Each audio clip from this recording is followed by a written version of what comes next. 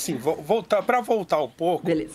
É, eu queria voltar um pouco no assunto do feminismo. Você falou que você encontrou o feminismo mais ou menos quando você tinha 20 anos e tal, e até falou que tem hoje moças mais jovens é. que estão encontrando o feminismo. Eu mesmo, que sou professor de adolescentes, eu vejo com muita frequência, né, os, os, os minhas alunas é, com 14, 15, 16 anos também aderindo ao, ao, ao não diria movimento, mas tendo ideias, ideias né? feministas né? uhum. já e tal.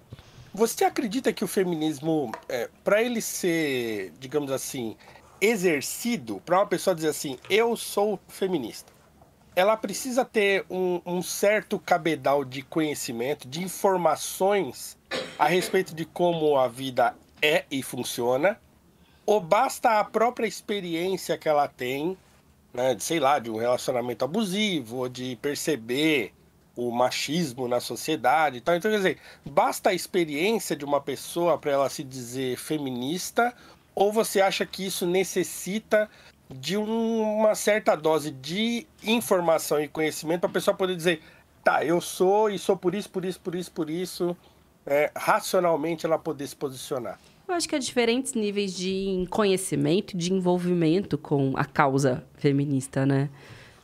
não me lembro exatamente, detalhadamente, mas enfim, nessa minha época da vida, de 19, 20, 21 anos, é isso, essa combinação de fatores. Fui convidada, se eu não me engano, para participar de uma roda de conversa sobre o tema. Aí eu fui chegando à conclusão, a partir daquele debate, das minhas amigas, das redes sociais, de que, olha só, acho que eu sou feminista e nisso me despertou para conhecer mais, entender a história, o que é o detalhamento, etc. Mas não precisa, acho que, desse grau de envolvimento para a consciência feminista se despertar em você. Pode ser por N fatores. Hoje eu acho que as redes sociais têm um papel fundamental e aí as meninas se conversam, falam, ah, de fato eu fiquei com carinho, ele é muito machista, acho que o que ele fez com você foi errado. Ah, poxa vida, que absurdo que, enfim, a minha vizinha passou por uma situação de agressão, de violência doméstica.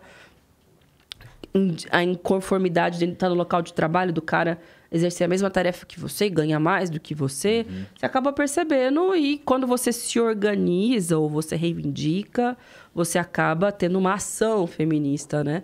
Mas há diferentes níveis de envolvimento, sabe? Eu acho que o importante é que é, essa, se despertar dessa consciência se transforme em ações práticas cotidianas que interfiram na tua vida, que possam ajudar outras mulheres que signifique transformação de políticas públicas, eleição mais a longo prazo de pessoas que representem essas pautas e transformações concretas na sociedade, ou mesmo gerar o incômodo, o questionamento, né? Por que, que as mulheres ganham menos? Por que, que elas são vítimas de violência? Por que, que elas são interrompidas numa conversa política? Por que são subjugadas?